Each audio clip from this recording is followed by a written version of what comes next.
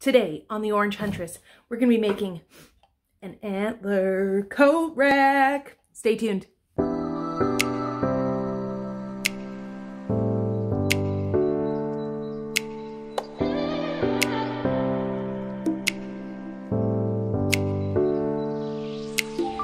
So my husband got a new job in December, which is awesome, but now he has his own office, which he never had before. So I thought I'd bless his new space with some nature.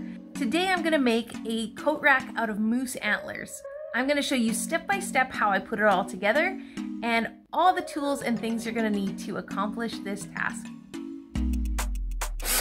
Hello, hello, hello. Everything you're gonna need will be written in the description down below. So check that out once this video is done so you know exactly what you need to pick up from your hardware store or from your basement, also from your bathroom.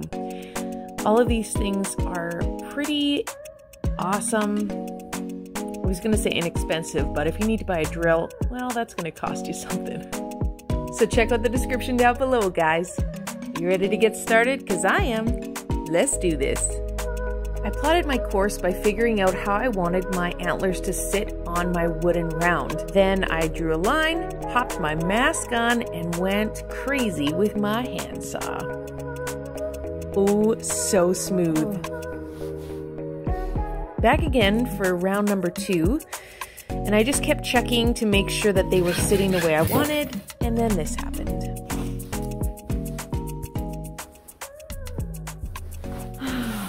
Frustrated and defeated, I waited for my husband to come home so he could do the sawing for me and bring me another blade. So I have my cut round here, and what I didn't bank on was the fact that it's frozen.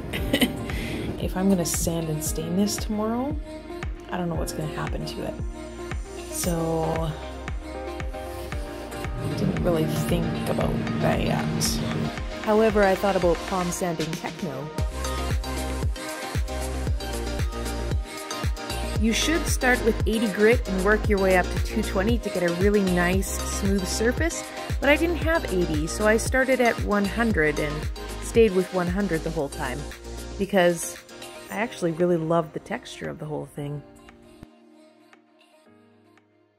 So this is my round pre-stained and still ratched up from the saw, but I love it.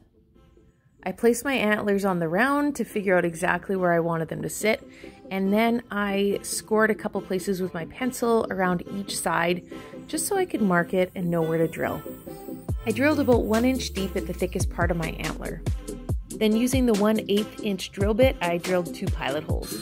My wood round was just under 2 inches thick and I used a 2.5 inch screw. I grabbed my square bit and I screwed the screw through the pilot hole to the other side. Then I marked with my pencil where I thought the screw hole would land and began to drill. I switched to an 11 64th inch bit because it matched the size of my screw and drilled my hole bigger. So this, it turned out way better than I thought it was going to. I am so surprised.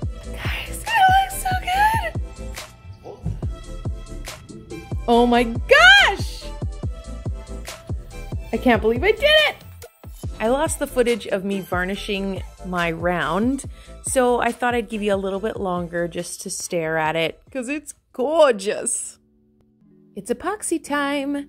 So you squeeze it out onto the cardboard, mix it with the popsicle stick, and adhere the mixture to the antler and the wood. Then I took the screws drilled from the backside into the wood and then into the antler while holding it awkwardly. Super awkward, guys. To remove any epoxy, you can use acetone or nail polish remover with some Q-tips. To finish, I used a 20 pound mounting hardware piece that I got from Walmart.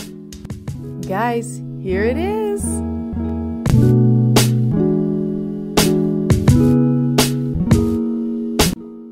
Joining me today, peeps. I hope you like this as much as I do. And if you want to see more DIY or hunting cooking content, subscribe and I'll catch you next Wednesday.